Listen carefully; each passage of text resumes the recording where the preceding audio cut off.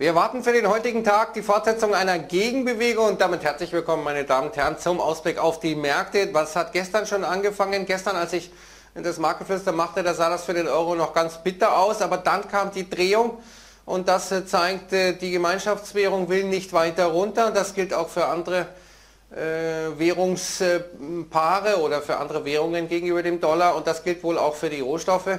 Und das zeigt, dass wir hier möglicherweise erstmal eine Gegenbewegung sehen. Und für den DAX könnte das bedeuten, ein stärkerer Euro, so es denn kommt. Das äh, wäre nicht das Allerbeste, könnte den deutschen Leitindex ausbremsen. Schauen wir uns mal an, was äh, die Asiaten gemacht haben. Der Nikkei Viertelprozent im äh, Minus, Hang Seng 0,2 im Plus. In Shanghai geht es wieder kräftig nach oben, knapp 2%. Und Australien plus 0,71%. Hier bessere Arbeitsmarktdaten als erwartet, aber eben auch die gestiegenen Rohstoffpreise. Gestern ja Dramatik durch diese Fiemen-Aktion einer Hamburgerin. Woher kommen Sie sonst, wenn nicht aus Hamburg, kann man äh, fast äh, fragen.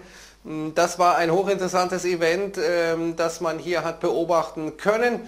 Hm, da war eine gewisse Dramatik erkennbar. Auch die Märkte haben das durchaus mit Gelassenheit erstmal genommen, zumindest die Aktienmärkte am Devisenmarkt allerdings da scheint sich eine neue Orientierung breit zu machen, denn es sieht danach aus, dass zumindest die Spekulation des Marktes, dass äh, im Juni zumindest die Fed die Zinsen nicht anheben wird, denn die Daten, die werden immer schlechter in den USA. Gestern Industrieproduktion schwach, New York Empire State Index schwach, also äh, die, äh, der Reigen der schwachen Daten setzt sich fort. Schauen wir uns mal an, was heute an Daten äh, ansteht. Erstanträge auf Arbeitslosenhilfe die Baubeginne und Genehmigungen 14.30 jeweils und um 16 Uhr der Philadelphia Fed Index. Also nicht so die ganz erste Kategorie an Daten, aber eben aus der zweiten Reihe durchaus interessante äh, Dinge und wie manches heute zu verstehen, einzuordnen und zu interpretieren ist, das sehen Sie wieder bei finanzmarktwelt.de. Jetzt schauen wir rein in die Charts, gucken, wie die Dinge sich hier entwickeln. Das ist der DAX, wie er sich gestern uns äh, dargestellt hat. Ja, wir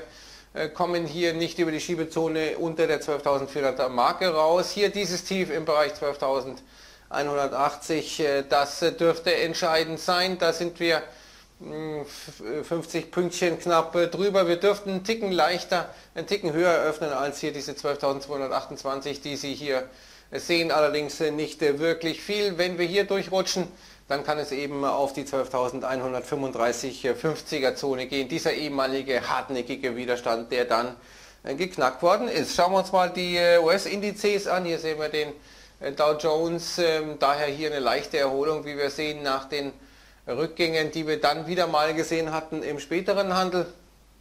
Sieht momentan noch ordentlich aus hier.